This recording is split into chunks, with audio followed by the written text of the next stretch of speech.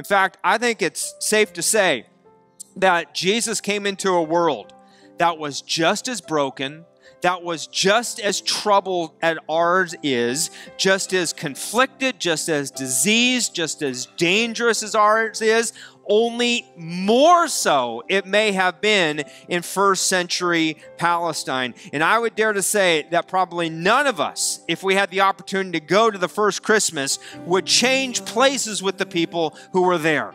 It was not a fun place to be in first century Palestine. And it's into that world this world of political unrest, of social upheaval, uh, fear of disease.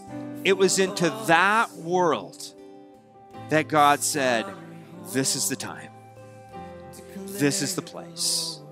And the angels announced it in Luke chapter 2, verse 14, saying, Glory to God in the highest heavens, peace.